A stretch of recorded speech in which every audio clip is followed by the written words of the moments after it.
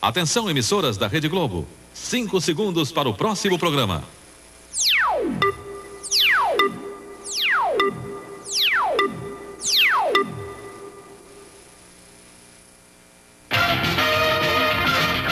O Jornal da Globo começa agora com os assuntos que foram notícia nesta segunda-feira. Na Inglaterra, guerrilheiros do IRA destroem uma escola militar. Em Volta Redonda, 3 mil operários entram em greve invadem a Companhia Siderúrgica Nacional e conseguem um acordo para diminuir o número de demitidos. Funcionários que perderam salário no Ministério da Ação Social ganham os 200 milhões da Sena. A Receita Federal anuncia que vai punir quem converteu cruzados novos em cruzeiros de forma irregular. Restringe o crédito para conter o consumo e evitar o crescimento da inflação. É isso, o Ministério da Economia divulgou agora à noite em Brasília um conjunto de medidas para reduzir o crédito e a liquidez na economia. O governo também acabou com as contas remuneradas e regulamentou os certificados de privatização. Estaria regulamento os certificados de privatização que os bancos, as seguradoras e as entidades de previdência privada serão obrigadas a comprar do governo. A venda começa em 15 de junho e será feita ao longo de seis meses. O crédito pessoal e ao consumidor está sendo restringido. Em maio, as financeiras só poderão emprestar os mesmos valores de março. Em junho, terão de reduzir os financiamentos a 80% dos níveis de março. E em agosto, a redução chegará a 60% dos empréstimos do mês de março. O uso do cartão de crédito também fica mais restrito. Está proibido o parcelamento de compras através do cartão.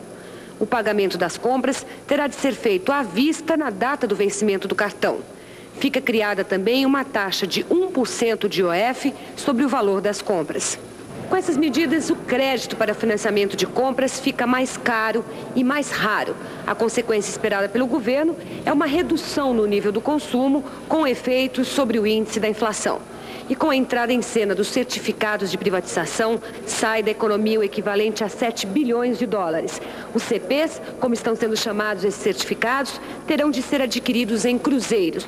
Era uma parte essencial do plano que ainda não tinha sido regulamentada. O que nós estamos fazendo é regulamentando os certificados de privatização, que serão um instrumento fundamental no processo de privatização. Os certificados de privatização não representam só uma receita que se antecede para o governo, mas principalmente uma camisa de força que obriga o governo definitivamente a iniciar o processo de privatização e com bastante vigor. E o que aconteceu nos bastidores do Palácio do Planalto antes da divulgação das novas medidas? Paulo Henrique Amorim.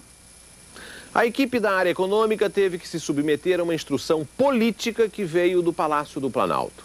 A instrução foi mais ou menos a seguinte: se o problema tem uma cura branda, chega de medidas drásticas. O governo considera que já deu o susto que precisava dar com o plano do dia 16 de março.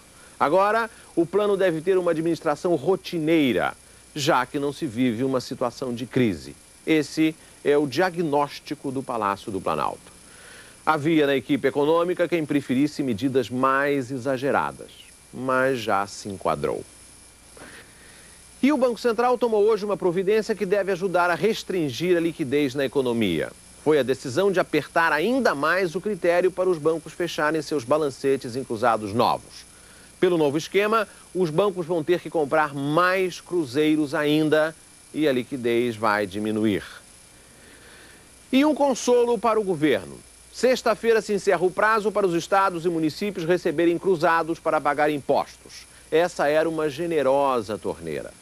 Semana que vem, quando estiver fechada, o governo vai poder ver com mais clareza o que precisa fazer. E se depender do Palácio do Planalto, se tiver que fazer alguma coisa, vai ter que fazer sem assustar ninguém. Chega de susto. O governo liberou hoje a importação de alumínio bruto. Só na semana passada, o produto ficou 38% mais caro no mercado interno. A tonelada do alumínio importado vai custar 100 dólares a menos do que a tonelada produzida no Brasil, já incluído aí o preço do frete. O mercado financeiro aguarda para esta semana medidas de contenção da liquidez. A ideia é enxugar o dinheiro em circulação, mas não aquele que está no bolso das pessoas ou no caixa das empresas. Desta vez, o governo quer reduzir os cruzeiros movimentados dentro dos próprios bancos. Joelmir Betting. No interior do sistema bancário, o dinheiro em circulação é quase do mesmo tamanho da liquidez existente no dia 13 de março, antes do choque. A única diferença, o over está concentrado agora em títulos privados e não mais em títulos públicos. Os recursos que giram de um dia para o outro em cheques administrativos totalizam 33 bilhões de cruzeiros contra 35 bilhões de cruzados em 13 de março. Praticamente a mesma coisa. Os negócios com CDBs somam 342 bilhões de cruzeiros. Antes do choque, 349 bilhões de cruzados.